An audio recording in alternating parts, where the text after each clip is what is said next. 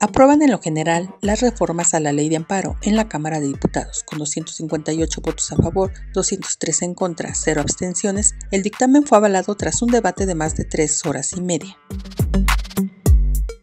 París cerrará su espacio aéreo durante seis horas el próximo 26 de julio para salvaguardar la ceremonia de apertura de los Juegos Olímpicos 2024. La ciudad tendrá una inédita ceremonia acuática con los deportistas desfilando en embarcaciones por el río Sena. Se espera la presencia de más de 320.000 personas.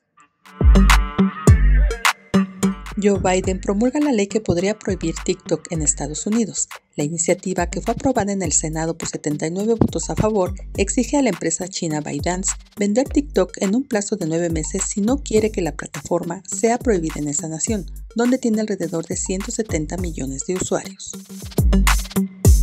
Joan Manuel Serrat gana el Premio Princesa de Asturias de las Artes. De acuerdo con la Fundación, en sus más de 50 años de carrera, las canciones del cantautor español forman parte de la memoria emocional de varias generaciones en España e Iberoamérica.